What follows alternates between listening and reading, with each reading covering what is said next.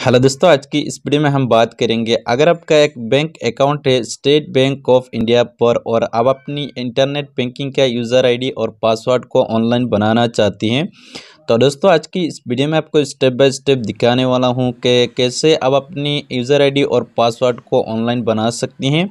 जैसे कि दोस्तों, बहुत सारा टाइम में हमको इंटरनेट बैंकिंग का यूज़र आईडी और पासवर्ड की ज़रूरत पड़ती है।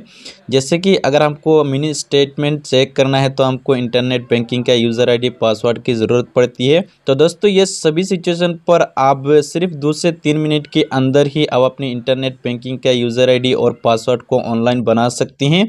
आपको ब्रांच पर जाने की ज़रूरत नहीं पड़ेगी। तो दोस्तों, अगर आपको ये सब जानना है तो मेरे साथ बने रहे और वीडियो को प्लीज़ एंड तक का देखते रहिएगा। तो दोस्तों स्टेट बैंक ऑफ़ इंडिया पर अपनी नेट बैंकिंग यूज़र आईडी और पासवर्ड को ऑनलाइन बनाने के लिए सबसे पहले आप अपने फ़ोन का प्ले स्टोर को ओपन करेंगे। और प्ले स्टोर को ओपन करने के बाद में दोस्तों, आपको यहाँ पर सर्च बार में टाइप करना है। YONO lite S B I ठीक है? जैसे अब योनो लाइट एस लिखकर सर्च करेंगे तो यहाँ पर ये ऐप आ जाएगा। इस ऐप का लिंक आपको वीडियो के नीचे डिस्क्रिप्शन में मिल जाएगा। तो सबसे पहले आपको इस ऐप को अपने फ़ोन पर इंस्टॉल कर लेना है, ठीक है? और अगर आप चाहें तो कोई भी ब्राउज़र पर जाके online S B I dot com लिख कर सर्च करेंगे तो ये बिल्कुल सेम प्रोसेस होगा। तो यहाँ पर मैं आपको दिखाऊँगा इस ऐप के ज़रिए, ठीक है? तो यहाँ पर मैं इस ऐप को पहले से इंस्टॉल करके रखा हूँ तो मैं यहाँ से ओपन कर लेता हूँ। तो जैसा भी इस ऐप को ओपन करेंगे तो इस ऐप का इंटरफेस कुछ इस तरह का आपके सामने ओपन हो जाएगा। तो यहाँ पर आपके फ़ोन पर अगर दो सिम है तो यहाँ पर दोनों सिम कार्ड दिखाएगा तो आपको यहाँ पर सिलेक्ट करना है। जो भी सिम आपकी बैंक अकाउंट के साथ लिंक है, उसी सिम को आपको यहाँ पर सिलेक्ट करना है। ठीक है? तो यहाँ पर मैं सिम सिलेक्ट कर लेता हूँ। और उसके बाद में यहाँ पर आपको टिक लगाना है और यहाँ पर आपको प्रोसीड पर क्लिक करना है। तो यहाँ पर दोस्तों आपको देखने को मिलेगा रजिस्ट्रेशन यहाँ पर यूज़र आईडी और यहाँ पर पासवर्ड ठीक है तो यहाँ पर आपके पास यूज़र आईडी और पासवर्ड नहीं है तो नई यूज़र आईडी पासवर्ड बनाने के लिए यहाँ पर आपको देखने को मिलेगा न्यू यूज़र रजिस्ट्रेशन आपको इस पर क्लिक करना है यहाँ पर आपको प्रोसीड पर क्लिक करना है यहाँ पर आपके सामने ये पेज ओपन हो जाएगा यहाँ पर आपका जो बैंक अकाउंट नंबर है उसी अकाउंट नंबर को यहाँ पर डालना है यहाँ पर आपका जो सीआईएफ नंबर है उसी सी नंबर को आपको यहाँ पर डालना है तो सीआईएफ नंबर जो है दोस्तों, ये अपने बैंक पासबुक पर मिल जाएगा। और यहाँ पर आपका जो ब्रांच कोड है, यानी यहाँ पर सभी ब्रांच का अलग अलग कोड होता है तो इसी कोड को आपको यहाँ पर डालना है।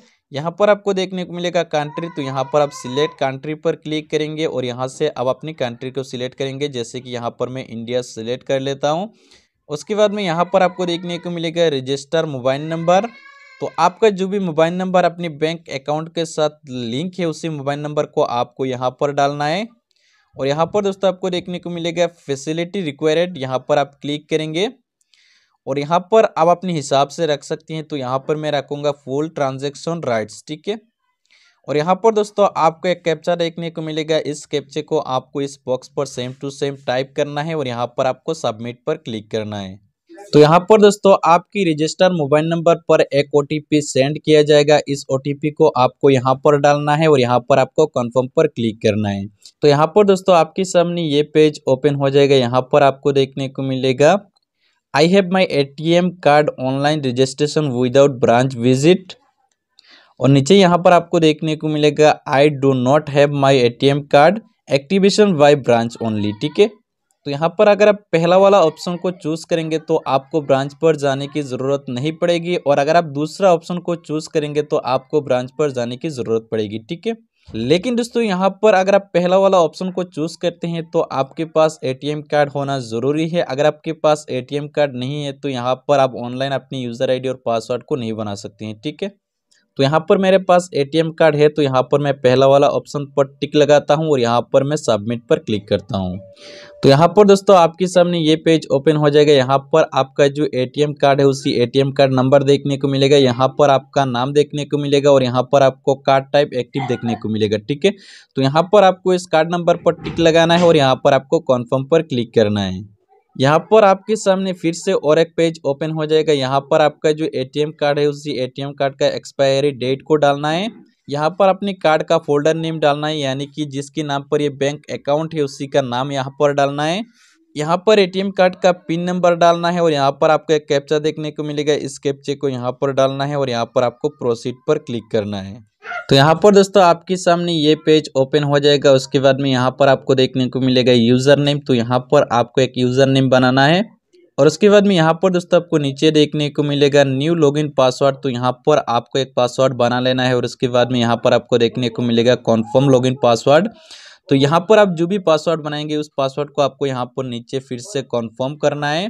और यहाँ पर आपको आई एक्सेप्ट पर टिक लगाना है और यहाँ पर आपको सबमिट पर क्लिक करना है तो यहाँ पर दोस्तों आप देख पर यहाँ पर मेरा जो यूज़र आईडी और पासवर्ड है ये सक्सेसफुली सेट हो चुका है जैसे कि यहाँ पर आपके सामने इस तरह का देखने को मिलेगा ठीक है तो यहाँ से दोस्तों आपको क्या करना है बैक करना है उसके बाद में यहाँ पर आपको इस पेज पर आना है यहाँ पर आपने जो भी यूज़र नेम बनाया उसी यूज़र नेम को आपको यहाँ पर डालना है और यहाँ पर आपने जो भी पासवर्ड को बनाया है उसी पासवर्ड को यहाँ पर डालना है और यहाँ पर आपको रजिस्टर पर क्लिक करना है तो यहाँ पर दोस्तों आपके सामने ये पेज ओपन हो जाएगा यहाँ पर आपको एक प्रोफ़ाइल पासवर्ड बनाना है तो यहाँ पर आप अपने प्रोफ़ाइल पासवर्ड को यहाँ पर डालेंगे उसके बाद में इस प्रोफ़ाइल पासवर्ड को यहाँ पर नीचे आप फिर से कंफर्म करेंगे उसके बाद में यहाँ पर आपको देखने को मिलेगा सिलेक्ट क्वेश्चन यहाँ पर आप क्लिक करेंगे और यहाँ से आप कोई भी एक क्वेश्चन को सिलेक्ट करेंगे ठीक है तो यहाँ पर दोस्तों मैंने क्वेश्चन सिलेक्ट किया what is the name of your best friend उसके बाद में यहाँ पर आप जो भी क्वेश्चन को सिलेक्ट करेंगे उसी क्वेश्चन का आंसर आपको यहाँ पर डालना है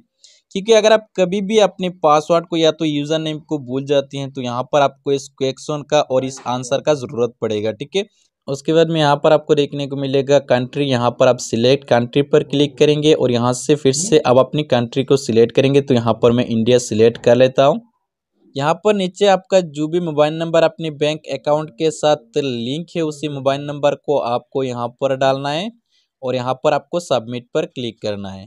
तो यहाँ पर दोस्तों आप देख पा रहे हैं यहाँ पर यूज़र एक्टिवेशन सक्सेसफुल यहाँ पर मेरा जो यूज़र आईडी और पासवर्ड है ये सक्सेसफुली हो चुका है ठीक है उसके बाद में यहाँ पर आप ओके पर क्लिक करेंगे और यहाँ पर आपका जो भी यूज़र नेम है उसी यूज़र नेम को यहाँ पर डालेंगे यहाँ पर आप अपने पासवर्ड को डालेंगे और यहाँ पर आप लॉगिन पर क्लिक करेंगे तो यहाँ पर आपका जो नेट बैंकिंग है ये लॉगिन हो जाएगा ठीक है तो यहाँ पर मैं लॉगिन करके ट्राई कर लेता हूँ कि लॉगिन हो रहा है या नहीं तो यहाँ पर दोस्तों आप देख पा रहे हैं, यहाँ पर मेरा जो इंटरनेट बैंकिंग है, यहाँ पर ये लॉगिन हो चुका है।